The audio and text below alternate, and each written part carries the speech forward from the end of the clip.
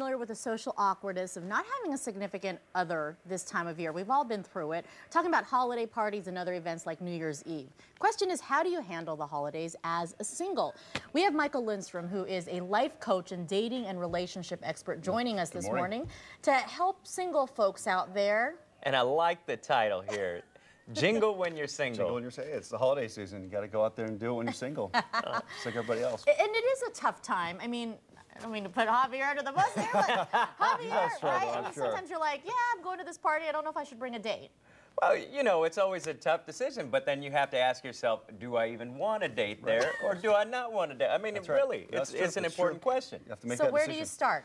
I think number one is that there's uh, there's an attitude issue. You, know, you have to embrace it. You're single, big deal. You just got a divorce. Yeah, yeah, it's, it's an emotional times, but when you wear it on your sleeve, people people can sense a negative energy mm -hmm. when you mm-hmm. carry it around.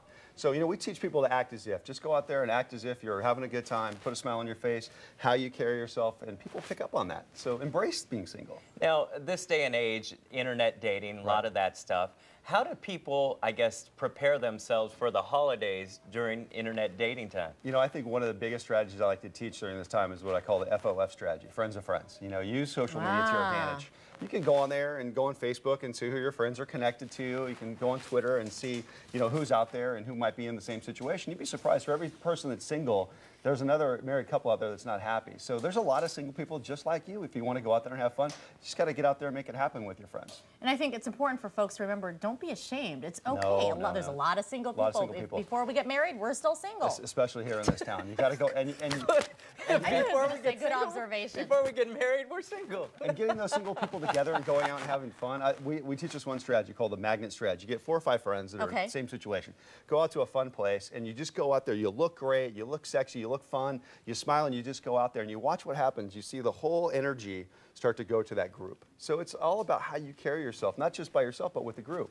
Javier knows what that feels like. That's, now, uh, for true. those on possibly a first date or maybe your first two dates and stuff, mm -hmm. a big event like New Year's Eve, do you take them? Do you not take them? You know, that's a, that's a tough call. I always say go with your gut. You know, your gut's going to tell you the right answer. I don't think there's a there's a carte blanche rule on that, but I think the more that you have a mindset of, you know, is this going to be the person I'm going to be with for the next year? If that's not the attitude and you just want to go have fun, then by all means.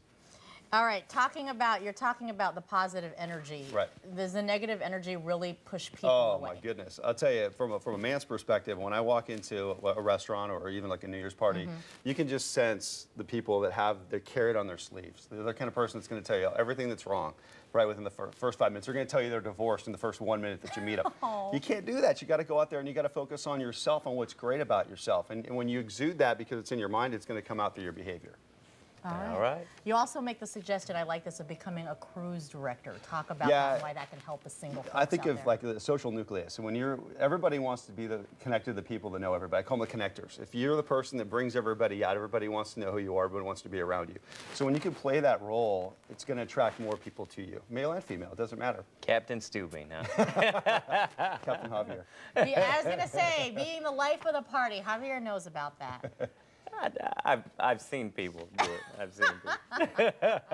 you heard. Uh, well, he definitely doesn't need uh, advice on being single because he's embracing it and enjoys it. I know that. Thanks, Tess. I'm saying it in a good way. Throw my business all out in the street. Thanks, Tess. So, Mike, that's what you do. You help folks out there, that's whether right. it's it's um, being single, being in a relationship. That's what you do. Think of it this way. Have you ever seen the movie Hitch? You know, yes. What, people, and I, have, I maintain a confidential You're Will Smith? Yeah, I mean, people call me up and I literally show them how to do it male and female. I take them out on Friday or Saturday nights and I go to functions with them it, make them interact with people. It's completely confidential, and I want to make sure that people have a paradigm that they can go from from there moving forward. But you got to go out there and sometimes show people the ropes. And and people don't realize how simple it is. It's just simple. putting yourself out there and uh, having everyday conversation. The first part of it is just get out of your comfort zone. Yeah, it's uncomfortable to go introduce yourself to somebody, but it's one of the easiest ways to meet somebody. Just put out your hand in our country and say, "How you doing? My name's Mike." People will shake your hand back and say their name, but it's uncomfortable for a lot of people. All right, so how do you make sure they call? How do you make sure they call after that handshake? Close the chat? deal. How do you close How the do you deal, close the deal? I, the number one way I'd say is you got to get people to start talking about themselves. Don't talk about yourself all the time and how great you are. If you can sit there and listen literally 90% of the time, that person's going to walk away and feel like, wow, I really connected with that person. When in reality, you know, they know nothing about you. You just sat there, uh, talked about yourself the whole time. That's what's going to walk away and leave that memory. 'Cause it's not about what you say, it's how they feel when they walk It's away. It's how you make them feel, yeah, right? absolutely. And make sure you ask about them as well. Of course. All right, and then keep the dance step right in here. Right here, right here, right here. Mike Lindstrom is his name. If you need some help and some tips on dating out there, having problems with your relationship, definitely contact him. All this information on azfamily.com. Thank you. I mean, you're on CNN, you've been on the Today Show, and you choose to be with us. Thank you. Yeah, I'd, I told the people I had to come over here and see Tess and Javier. So, Said Larry, Larry King, No, hold no, on. no, oh, I'll, I'll be there guy. next week. Arizona, keep it local. Thank you, Mike. Thanks Happy so New much. Year's. Good to see you guys. Coming right.